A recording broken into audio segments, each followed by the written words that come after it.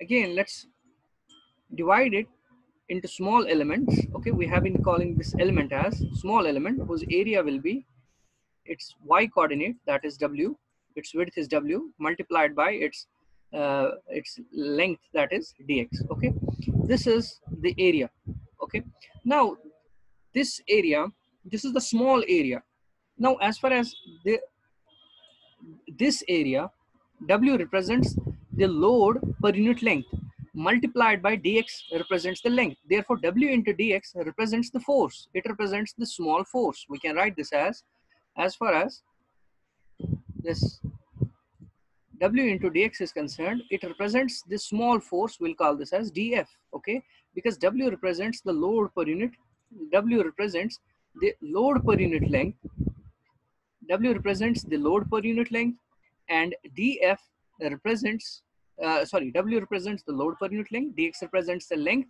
Therefore, load, load per unit length multiplied by length represents the load. So if we are taking small area strip from this load diagram, it represents the small force acting on a very small element whose thickness is dx, okay? Therefore, it means in this small strip, in this small strip, the, the load created by this, the load produced, the force produced by this small strip is equal to W into dx okay? Therefore how much will be the total load produced by this uh, produced by the, the, the non-uniformly distributed load? Therefore total load produced will be integration of this small load df that is equal to that's equal to integral of w dx okay? Integral of w into dx okay? Now as far as this w is concerned, as far as dx is concerned, this is our variable of integration. And our variable of integration x varies from x is equal to 0 to x is equal to 2 meter. So we'll write limit of integration is x is equal to 0 to x is equal to 2 meter. We can substitute integral df is the resultant force fr. Resultant force is equal to integral of 0 to 2 w dx. w is equal to 60 x square W is equal to 60x square Newton per meter multiplied by, and we have the variable of integration dx. Therefore, this integration will be equal, 60 will come out. Integration of x square is x cube by 3 with limits going from 0 to 2.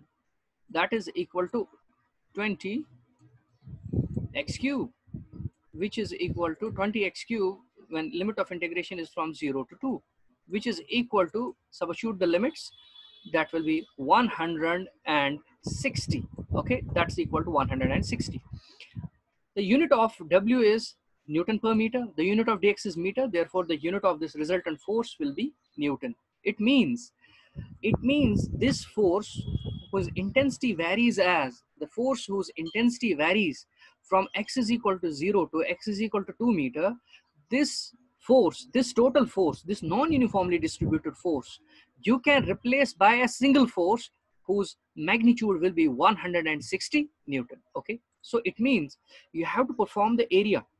You have to find the area under the load diagram.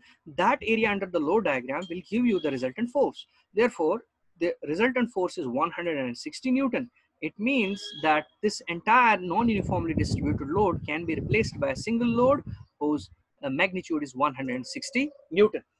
Now the question is, the important question is, we know that the area under the load diagram gives us the total load or the resultant load. Now the question is, where should we say that this load is acting?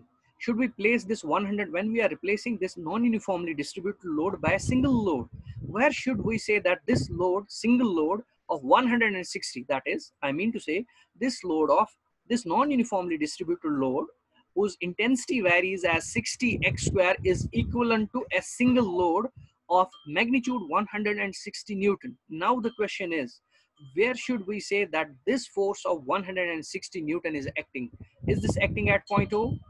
Should we replace this non-uniformly distributed load by a force of 160 Newton acting at point O, acting somewhere here, acting somewhere here, acting somewhere here or acting at this end where should this act okay the answer is as far as this load this load the resultant load which you have calculated from the load diagram this load acts at a point the point is called the centroid of the area this load is acting this load acts at the centroid of the area there are two questions that can arise in our mind. The first and foremost question is, how can we say that the force acts at the centroid? That's question number one. The question number two is, now if we are satisfied that definitely the force acts at point C called the centroid, how to find the centroid, okay? Before I answer, answer, how can we say that the force acts at the centroid? Before I prove it to you that the force acts at the centroid, uh, we need to understand I will make you understand how to find the centroid. So we will uh, we will not answer question number one for some time. Let's go to finding the finding the centroid. Okay, because that will complete our problem. Then we'll return of how can we say that this force is acting at the centroid. That's very very important. So our part one is finding the resultant force. That is the area under the load diagram. By integration process, we find the area under the load diagram that gives us the resultant force. Number two is this load you have to place at the centroid. The questions are two. How do we know that the load acts at the centroid? Number two is how to find the centroid. In order to complete the question, I will first of all answer how to find the centroid. Then later on, I will answer how do we know? Because if we do step number two, if we follow step number two of finding the centroid, I hope most of you can automatically understand the answer to the question number one, how do we know that the load acts at the centroid? Okay, so uh, before I start uh, finding the centroid, I start showing you how to find the centroid. I would like to know question. I would like to take your questions.